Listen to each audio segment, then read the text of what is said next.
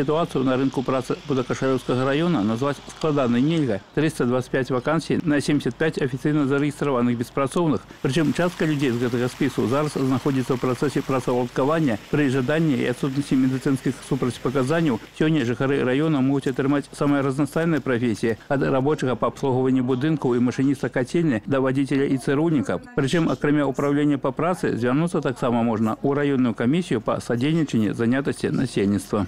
Заседание комиссии проходит два раза в месяц, где обсуждаются э, результаты мониторинга проведенного, формирование базы данных. Члены комиссии консультируют э, по возникающим вопросам части реализации декрета номер три.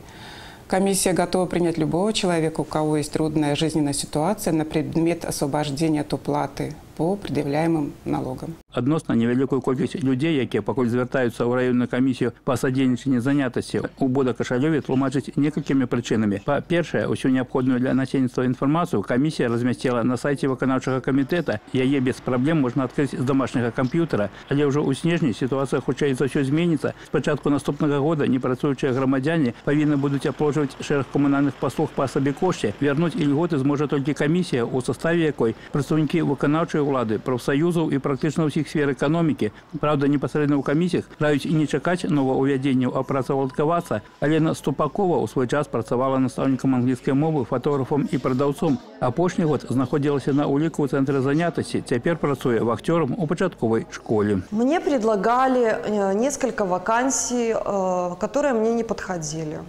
Э, но в итоге, наконец-то, мне позвонили, Э, и сказали, что в начальной школе требуется вахтер.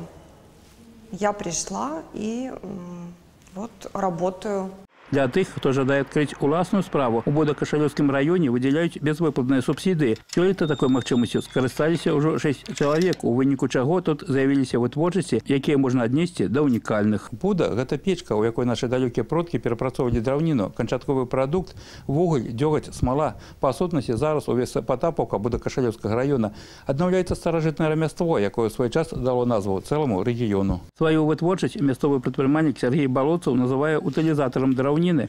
Пасля атрымання субсідыі ён вырабіў спецыяльнае абсталяванне і цяпер атрымлівае запатрабаваны на рынку вуголь. Хоць толькі гэтым праект не абмяжоўваецца. У наступным годзе прадпрымальнік плануе стварыць біовегетарый, дзе будуць вырошчвацца ягады. Практычна бясплатнае цяпло для абагрэву можна будзе атрымліваць з дзеючага абсталявання. Окупаецца за счет реализации угля, а с побочным продуктом является тепло, которое пойдет мне на отопление теплиц. Поэтому это, послед... это просто начальный этап котельный которая будет впоследствии здесь стоять теплица. Олег Сентеров, Евген Макеенко, телерадиокомпания «Гомель», Будокошалевский район.